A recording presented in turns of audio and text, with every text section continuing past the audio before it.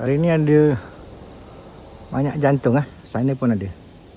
Ha, jadi hari ni tak ada apa kita ambil jantung lah. Buah pisang belum lagi eh. Okey, ha, ni satu lagi. Ha, satu lagi. Dah boleh ambil. Bila nak ambil jantung ni sebenarnya? Bila dia dah jarak lah. Yang, yang bawah ni pun dah tak produktif dah ni. So kita dah boleh petik jantung dia.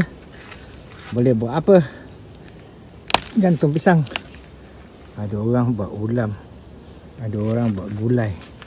Dan macam-macam. Mengikut keperluan kita rasa masing-masing. Ha, itulah. Pokok ni kecil. Tapi dia nak juga keluarkan buah kan. Okeylah tak apa.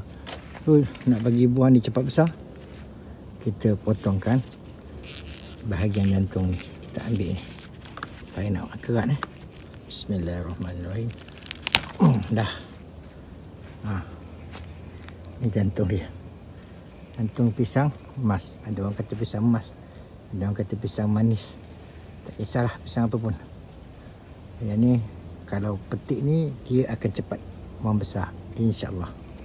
Ha, itu kata orang lah tak betul tidak. Kita tunggu aja.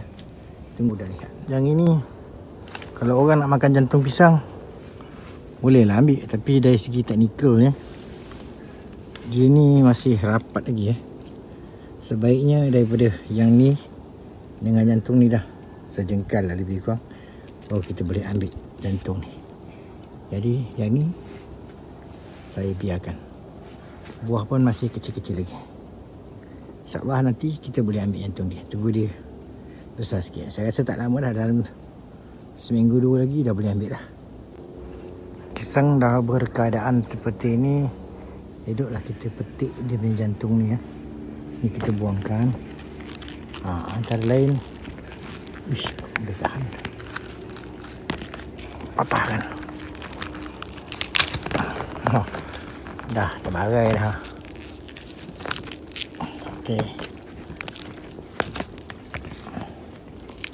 hmm, itu dia ok Antara lain tujuan dia membolehkan buah pisang tu cepat membesar.